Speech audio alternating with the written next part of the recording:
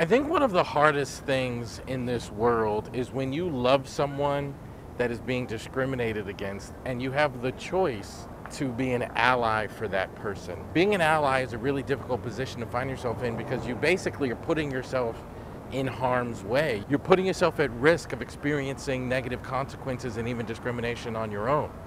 I'm lucky enough that when I've experienced discrimination, I've had amazingly strong allies in my life and they've made all the difference.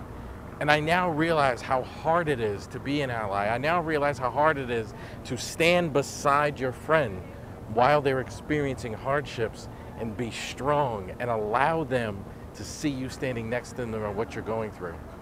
That's how you be an ally. It's not necessarily about when someone goes through a hard thing, you're willing to talk to them about it, but it's actually standing next to them while the situation is difficult.